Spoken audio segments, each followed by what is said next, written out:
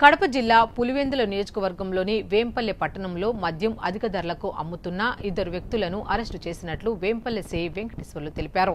తిరుపాల్ పైక్ నాయక్ తెలిపారు. ఈ సందర్భంగా వారు మాట్లాడుతూ వేంపల్లి పట్టణంలోని గండి రోడ్డు సమీపంలో గంగమ్మ గుడి సమీపంలో కంపు చెట్టు వద్ద ఇద్దరు వ్యక్తులు మద్యం అధిక ధరలకు అమ్ముతుండగా వారిని పట్టుకుని వారి వద్ద నుంచి లిక్కర్ బాటిళ్ళు స్వాధీనం చేసుకుని కేసు నమోదు చేశామని తెలిపారు. అసాంఘిక కార్యకలాపాలకు పాల్పడితే కఠిన చర్యలు తీసుకుంటామని సిఐ హెచ్చరించారు.